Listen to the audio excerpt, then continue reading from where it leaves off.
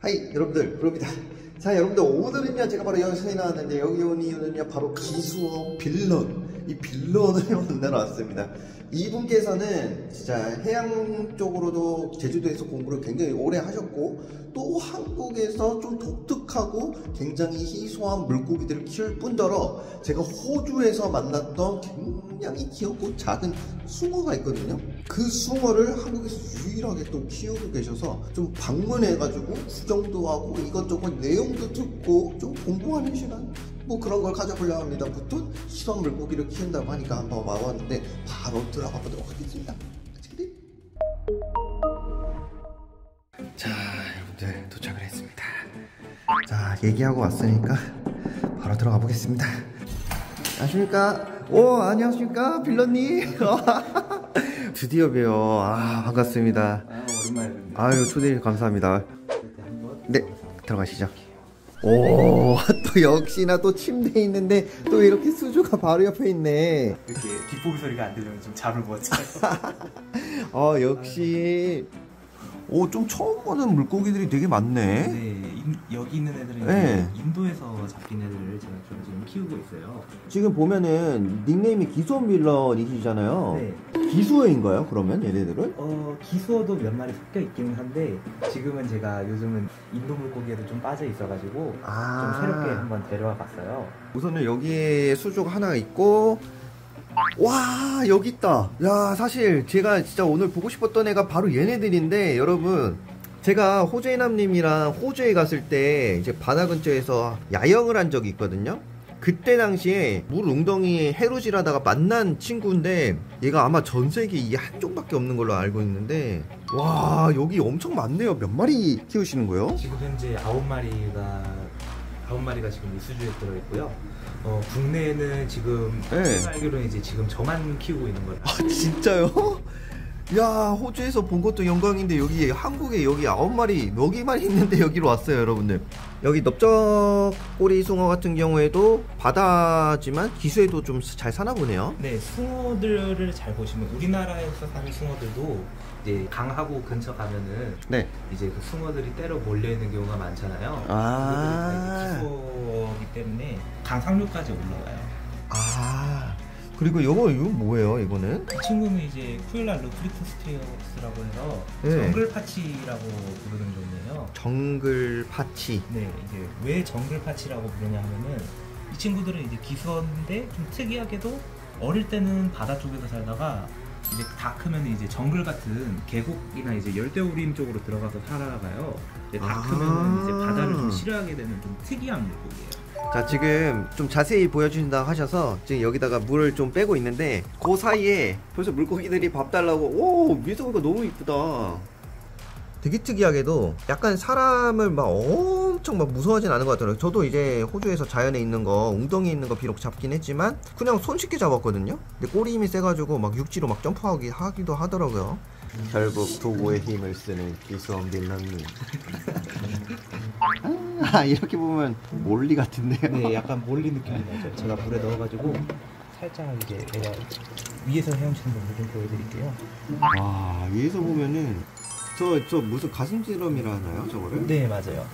이 가슴 지느러미가 좀 검은색이고 꼬리 지느러미가 노란 게 이 바로 널쩍꼬리 숭어의 특징인데요. 일본에서는 이 숭어가 굉장히 많이 살고 있어서 이 옆에 가슴 지느러미가 이제 일본 요괴 중에 오니라는 게 있어요. 우리나라로 치면 이제 도깨비인데 그 오니의 뿔을 닮았다고 해서 도깨비 숭어, 오니보라라고 이제 부르고 있어요.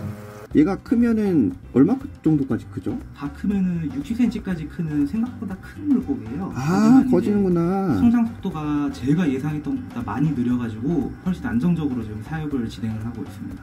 아 얘네가 지금 현재 발색이 왔다 갔다 하는데 지느러미 같은 경우에는 검정 색깔이고 이제 꼬리 지느러미는 또 노란 색깔로 되게 이쁜 친구들이에요 그래서 한국에서도 기르면은 많이 기르시지 않을까 싶은데요 저 같은 경우에도 실제로 있으면은 저도 어, 진짜 진짜 입양해서 키우고 싶은 그런 종입니다 전 세계에 딱 이제 한 속 한 종밖에 없는 되게 유일무이한 종인데 보시면은 크기는 이렇게 좀 작아요. 어떻게 보면 약간 몰리 같기도 하고.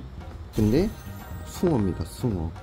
자 그리고 이 아처피씨가 두 종류가 있어서 소개시켜 주신다고 지금 잡으셨거든요 이거 뭐가 다른 거죠? 아 다르긴 하다 외모상 지금 맨 처음 보시는 저기 이 아처피시가 밴디드 아처피시라고 해서 우리가 주로 물총뽑기라고 하면 네. 이 종을 뜻해요. 모든 아처피시 종류 중에서 기수성이 제일 강해서 바닷가에서도 종종 보이는 그런 친구입니다. 지금 저기 뒤에 좀 수줍게 숨어 있는 친구는 골든 아처피시라고 해서 다른 아처피시들에 비해서 주둥이가 좀 더 길게 자라고 무늬가 좀 이렇게 얼룩덜룩한 편이에요. 이 친구들의 주요 산지는 이제 태국이고요. 이 기수어기는 한데 이제 염분에 대한 내성이 매- 굉장히 강해가지고 담수에서도 축약만 잘하면은 어, 일평생 계속 민물에서도 키울 수가 있는 그런 친구입니다. 이 친구들의 특징은 또 이제 물총을 잘 쏜다는 거죠. 그쵸 그 얘네가 이제 물 밖에 있는 곤충들을 보고 물총을 쏴서 물 위에 떨어뜨려서 먹는 되게 특이한 친구들입니다 여러분 네 맞아요. 그 현존하는 동물 중에서 인간 위에 저격을 할 줄 아는 몇 안 되는 동물 중 하나예요. 저격이요? 저격수예요. 아. 근데 그러다 보니까 이제 문제가 뭐냐면은 이 물을 조명에다가 자꾸 쏴가지고 네. 이걸 조명을 고장내는 경우가 간혹 있어요. 아 조명에도 물을 쏘는구나 네네. 이런 그리고 이제 제 지인분 일화 중 하나였는데 가게에서 어떤 분이 일을 하고 계셨는데 그 알바생분이 그 얼굴 눈 밑 쪽에 점이 있었어요. 초피 씨가 벌레인 줄 알고 계속 그 직원에게 갈 때마다 물총을 쏘는 바람에 곤란했던 적이 많다고 했었다고 하네요. 그리고 여러분들 여기 뒤쪽에 보면은 약간 동자개처럼 생긴 애들이 있거든요 동자개라고 해야 되나? 네, 동자개 쪽 맞고요. 아 그래요? 네, 우리나라에서는 이제 바다 동자개라고도 이제 알려져 있는 그런 친구들이에요. 이 친구들의 정식 명칭은 콜롬비아 shark catfish 또는 Ariopsis seemanni라고 불리는 종인데 이름처럼 이제 우리나라에서는 멀리 떨어져 있는 콜롬비아에서 날아온 친구들이에요. 정브르 시청자분들은 쏠종개라는 물고기를 아실 텐데 그 바닷가에서 사는 맥인데 등지느러미에 독이 있어요. 이 친구들도 역시 독이 있습니다. 아, 진짜 쏠종개랑 똑같네. 쏠종개도 여러분들 그 바다에서 뭐 무리를 지어 다녀서 통발이 들어올 때 한 번에 들어오는 친구들이면서도 만지면 쏘여가지고 아야 하는 그런 물고기인데 기수에 사는 쏠종개랑 비슷한 그런 맥이라고 보시면 되겠네요, 여러분. 그리고 여기 보시면은 종이 되게 많은데 여기 혹시 개체 소개가 가능할까요? 오, 네, 저기 지금 보시면은 이 약간 노랗고 V K자 무늬가 있는 친구 있잖아요. 아 얘예요, 얘, 얘, 얘. 네, 저 친구는 이제 Etroplus canarensis라는 물고기예요. 이제 인도 남서부의 카르나타카주의 고유종인데요. 현재 이제 야생에서는 멸종 위기에 처해 있고요. 아 멸종 위기 종이에요? 네 네. 그리고 cichlid 치고는 번식이 굉장히 어려운 종으로도 알려져 있어서 인도 정부에서 번식을 할 경우 포상금과 지원금이 나올 정도로 굉장히 번식 난이도가 높은 어종으로 알려져 있어요. 와 호상금이나 이제 번식 나이도 와 진짜 대박이네. 근데 이- 어떻게 여기 있죠? 어, 이 친구가 얼마 전에 수입이 됐어요. 아. 그러다 보니까 이제 제가 한번 번식을 도전을 해보고 싶어서 몇 마리를 데려오게 됐네요. 여기에 그 참마자 같이 생긴 애가 있는데요. 얘 잉어 같기도 하고 참마자 누치 같기도 하고 하는데 이거는 뭐예요? 이제 참마자하고 누치 같은 애들하고는 비교하기도 힘들 정도의 거대한 크기를 자랑하는 포프티토라라는 물고기예요. 아 입에 보여도 저 녀석들은 다 자라면 2m가 넘는 거대한 물고기. 진짜요? 네. 이 친구들은 좀 사연이 독특한 사연을 갖고 있는 물고기예요. 동화로도 유명한 정글북을 아시나요? 알죠 알죠. 네. 그 정글북의 작가인 러디어드 키플링이라는 사람이 이 물고기를 정말 좋아했어요. 이제 그 사람이 낚시를 갈 때마다 기록을 써놨는데 그 중에 이 물고기에 대한 기록이 굉장히 많습니다. 잉어류의 왕이라고 불릴 만한 그런 물고기예요. 그러네요. 우리나라 잉어가 진짜 크면 1m가 넘기도 하지만 2.5m면은 사실 세계 탑급이라고 해야겠네요. 네, 아쉽게도 세계에서 가장 큰 잉어는 이제 태국에서 사는 자이언트 카프라고 아 네, 다른 종이 따로 있어요. 맞아요. 하지만 이 친구 네. 길이는 이제 자이언트 카프에 거의 비빈다고 할 수 있을 정도로 엄청나게 커지는 그런 특별한 물고기입니다. 아 이거 신기하다 자 그리고 좀 독특한 게 있는데 여기 보면은 눈에 이제 화장한 것처럼 그 약간 판다처럼 이렇게 점이 있는 애가 있거든요 얘는 혹시 누구예요? 이 친구는 이제 마스카라 바브라는 종류예요. 붕어 쪽, 잉어 쪽 이런 애들이고요. 아 저기 이제 마스카라를 바른 것 같다고 해가지고 마스카라 바브라고 부르고 있는 그런 특이한 물고기예요. 아, 얘도 많이 커지는 종인가요? 이 친구들은 이제 우리나라 납자로 생각하시면 되는데 아 이제 15cm 정도까지 자라는 이런 중소형 이제 잉어 종류예요. 오야 꼬리에 꼬리 지느러미도 뭔가 엣지 있고 참 이쁜 종이네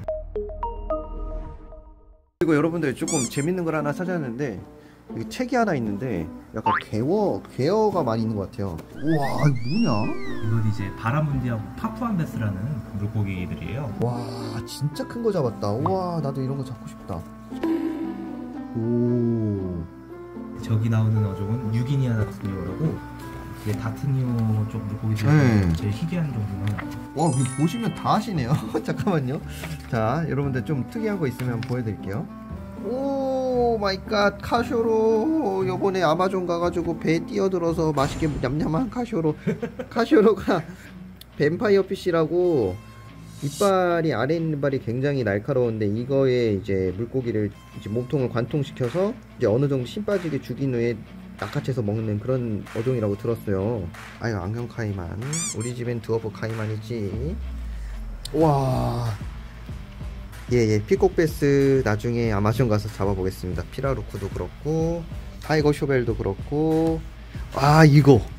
이거 한국에서 기르시는 분이 있는데 제가 조만간 제가 한번 소개시켜 드리겠습니다 여러분. 여러분들 어, 엘리게이터가 제가 직접 잡아봤으니 이 영상 한번 검색해서 보시면 감사하겠습니다. 재밌어요.